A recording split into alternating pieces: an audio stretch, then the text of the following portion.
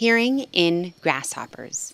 Today I will focus on the grasshopper, also known as a locust, called Schistocerca gregaria. Insects have three body segments the head, thorax, and abdomen.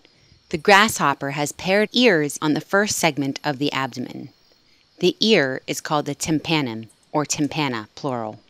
To visualize the tympana and the surrounding tissues, I scan the insect with a micro CT scan from the abdomen to the head in this scan, the black is the least dense areas, like air pockets, while the white is the most dense tissues, like the gut. The hollow wings can be seen at the top, held in place by gray putty. Air pockets begin to be visible in the abdomen surrounding the tympana. There is a section of harder sclerotized tissues that look like a U protecting the very thin tympanal membrane. In this scan, the membrane tissues are too thin to be visible in the slices. As the scan enters the thorax, the large muscle tissues become clear as well as the cross sections of the legs. The same insect was also scanned from the ventral underside to the dorsal top. Starting with the legs, the scan goes up the body with the thorax and abdomen appearing next. The solid gut is white, running the length of the body. Above the gut, the tympana start to appear. Notice all of the black empty space of the air sacs that surround them. This space is needed for pressure hearing. Here is a dissection showing the inside of the locust. You can see the expanded air sacs. With a popped air sac in the thorax, you can see the pinkish muscle going lengthwise and across the animal. In addition, you can see the white trachea bringing air to the muscle tissues in a web like fashion. I adjusted the light source to shine through the tympanum. Next, by popping the air sacs further away in the abdomen, you can see the tympanum has its own air sac surrounding it. As we continue in the CT scan layers, you can see where it's black and those air sacs are located. These flat scans were rendered in a virtual reality program called syGlass, where a VR headset is used to see the whole animal in space and easily manipulated with hand controllers.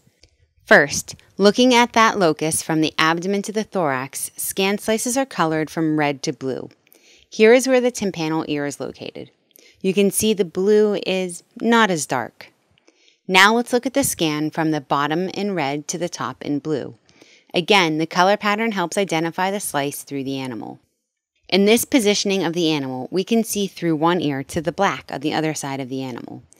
Now that we have looked at some basic anatomy of the locust, we can ask the question, how does the locust tympanum receive sound? To answer this, first, let's focus on the anatomy of the insect. The ear is seen here behind where the wings have been cut. Zooming in, the outline of the tympanum looks like an oval. This is in essence the eardrum. One key element is a brown dot called the PV or piriform vesicle. The membrane is divided into thin and thick sections that move differently as we'll see in a moment. The membrane is protected by a cup of harder, more sclerotized tissues, with the dark part in this image cupped in a concave manner. I will more clearly show the tympanum morphology in the VR software. The colors now represent a heat map to identify tissues based on a variety of parameters. I am using one hand to slice the animal from the top to reveal tissues underneath. As I go down, you can see the protective cup around the outside of the animal, and here is the ear closer to our view, with the membrane located to the bottom right of the image. As I slice further down, the gut appears in yellow now, as it is made of really dense materials. In the thorax, you can see the gut has particles still being digested in that section. When I go back up to the location of the ears, you can see a lot of empty space where these air sacs are located. Lastly, I want to point out the large thoracic muscles. One type goes across the length of the body, the other type goes up and down. Now that we are more familiar with the anatomy, how does the locust hear the different sound waves? I took a laser scan of the locust tympana for nanometer level movements with sound. I created a grid and the laser scanned each point for movement. In red, the scan shows the tympanal membrane moving in front of the grid and behind it in green. At 3 kHz, the traveling wave can be seen going across the tympana from the thin to thick membrane, always in this direction. At 5 kHz, that wave is now shorter, with half the membrane moving up while the other half is moving down. The thick and thin membranes are moving in opposite directions. Increasing the sound frequency to 10 kHz, the thick membrane barely moves now. Instead, that PV moved in and out of plane from the thin membrane. Finally, at 15 kHz, the membrane is moving in a more complex pattern, almost with what looks like a donut, with the PV and outer part of the membrane moving together in phase. Playing these four frequencies next to each other, you can see the difference in movement. Recognizing the tympanal membrane moves differently based on sound frequency is really interesting, but how does tympanum movement translate to neural signaling? First, I want to point out that hearing has evolved independently 20 times in insects, so all of the ears function in different ways. Comparing the locust ear to the human ear, the sound waves first hit the tympana or eardrum. But humans have bones that then amplify the signal, sending it to the cochlea for frequency discrimination that is then picked up by the neurons. Insects do not have bones nor a cochlea. The neurons are directly connected to the tympanal membrane. This is a dissection showing the inside of the locust ear. Circled is the tympanum, with the thin membrane next to the thick membrane. The brown PV is more clear in this image, and that protective cup is now behind the membrane. But most obvious is this soft tissue mass directly touching the membrane. It is called Mueller's organ and is composed of about 80 neurons. When the tympanum moves, Mueller's organ moves and the neurons fire. Differential movement of the membrane will trigger different firing responses. Now that you've seen the dissected tissues, let's explore how they look undisturbed in the animal with the VR software.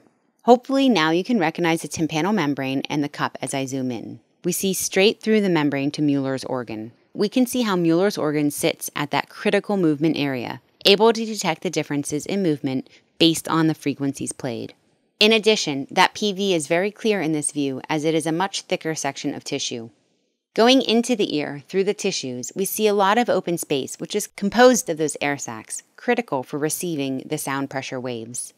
Focusing on the other ear, I have the membrane flat so we can see just how it would move with sound in and out of plane with Mueller's organ going up and down.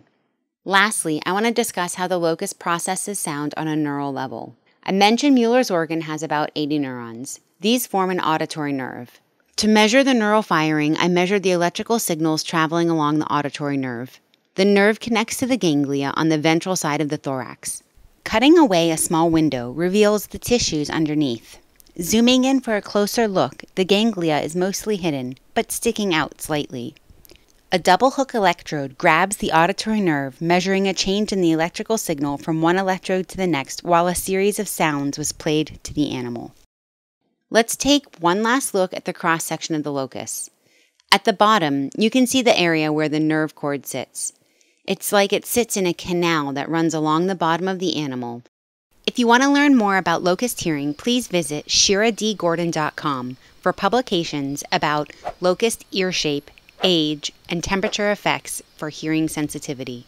This has been a She-Rock Science production, and I am Shira Gordon please contact me to make a video of your research. The research was conducted in collaboration with James Windmill at the University of Strathclyde. The VR software used was through syGlass, and tympanal membrane movements were measured with a Polytec scanning laser. Thank you for watching, subscribe to the channel, and check out more science videos at She-Rock Science.